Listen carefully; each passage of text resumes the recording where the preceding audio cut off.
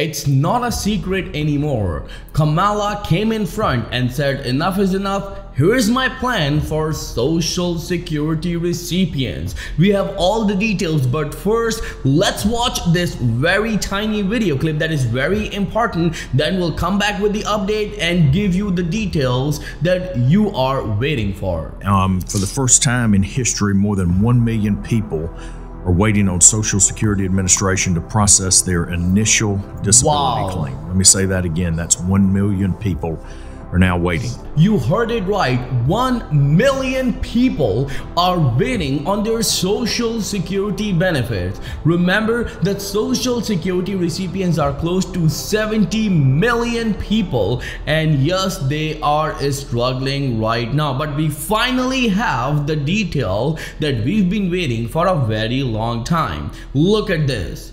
How Kamala Harris' plan for Social Security compares to former President Donald J. Trump. Finally, she revealed her plan for Social Security. We've been waiting for this for quite a long time, and we finally have all the details, and we are going to break it down for you in this very important video. So, before we get into the details, I have a little request to please smash the like button on this video as it helps this video and the channel as well. So let's get into the details first and see that what do we have for you and how Kamala Harris plan compares to Donald J. Trump differs. So let's look at this. The Social Security Administration faces a looming funding crisis over the next decade and the major 2024 presidential candidate have different plans for the ailing retirement safety net programs.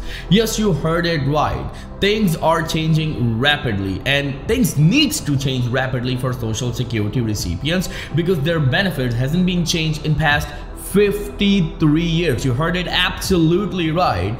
In past 53 years these recipients they are close to 70 million people are waiting for a change in their social security benefits such as an increase as well as increase according to the inflation which they never get one thing that we would like to tell you right here that is very very important. We all need to understand that social security recipients are struggling right now and there is no doubt about it. They need some sort of support some sort of financial aid some sort of stimulus check as soon as possible. And we recall one petition started by the Senior Citizen League calling for a $1,400 one time targeted stimulus check for millions, means close to 70 million Social Security recipients. So if you support that, then I humbly request you to please write in the comment section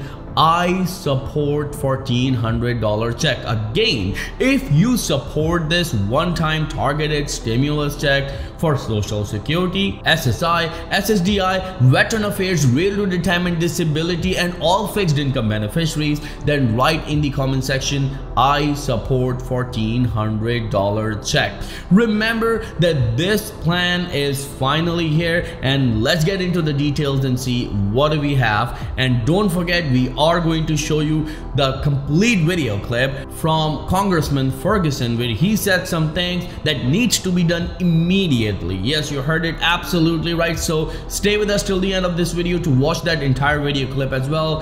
And first, let's get into the details and see how these plans between Donald J. Trump and Kamala Harris when it comes to Social Security differs and compares. Vice President Kamala Harris and former President Donald J. Trump respectively, the Democratic and the Republican presidential nominee have both made promises about Social Security benefits for the American people.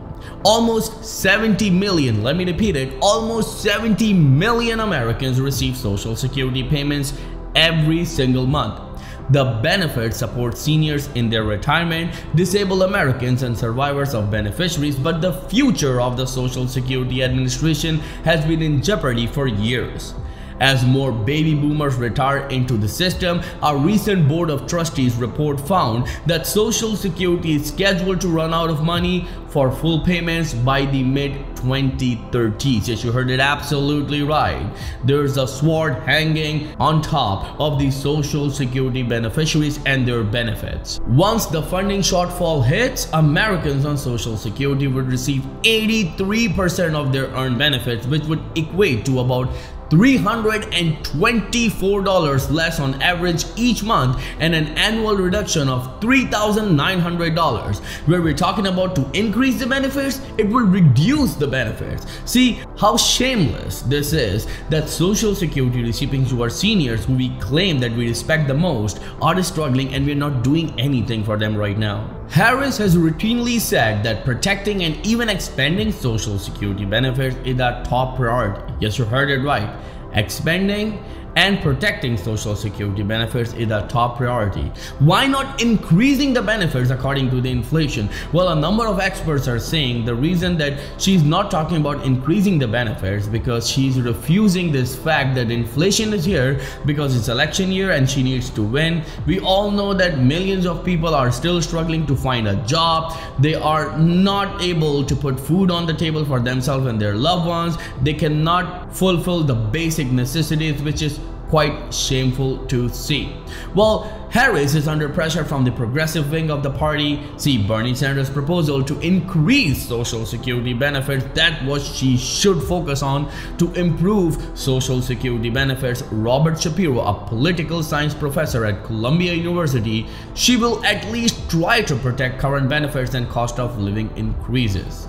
Very important. Remember that social security recipients need an increase as soon as possible so they can cope up with this worst inflation which no one is accepting except the Republican Party and the former President Donald J. Trump. Let us know in the comments below what do you think about this situation because yes, social security recipients are struggling and they need some sort of support as soon as possible. So let's go and watch the entire clip from Mr. Ferguson from Congress Ways and Means Committee hearing where he talked about social security and the problems the social security recipients are facing right now. So first, let's watch it and then we'll come back and talk about it. So good morning again. Um, for the first time in history, more than 1 million people are waiting on Social Security Administration to process their initial disability claim. Let me say that again. That's 1 million people are now 1 waiting. million people. On average, claims are taking 220 days to be decided. That's more than 100 days longer than it was in 2019 and more than 150 days longer than the Social Security Administration, what it defines um, as a minimum level of performance. The real See. world, the real world consequences for these individuals um, who are unable to to work and wait for their disability decision is devastating. Many of these families and many of these individuals really get hurt by these delays. To help illustrate what the Social Security Administration's claim process looks like from a claimant's perspective, I'd like to submit for the record a statement provided to us by a beneficiary who waited more than a year for a decision that should have taken months, if not weeks. So let me read this statement to you. It was a semi-typical day. I was leaning on the countertop in our hall bathroom waiting for my two-year-old to finish going to the toilet. My husband was in the bedroom sleeping off the previous night's third shift from his job but had his phone on full blast in case I needed help. Suddenly, the muscles around my ribs cramped and I could barely get air in. I pulled out my cell phone and called my husband and said one quiet word, help. As I went to my knees, I thought to myself, I'm going to die on the bathroom floor in front of my two year old. At that moment, the Social Security Administration had denied my claim. Let me repeat it. At that moment, the Social Security Administration had denied my claim for disability, stating that I was capable of work if my husband had not brought my rescue medication.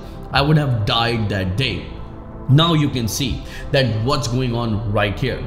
The social security benefits and the rules needs to change as soon as possible. It hasn't been changed in past 53 years. There's a lot of transitioning period in our life, in our atmosphere, in our global warming, but what about social security? Nothing at all.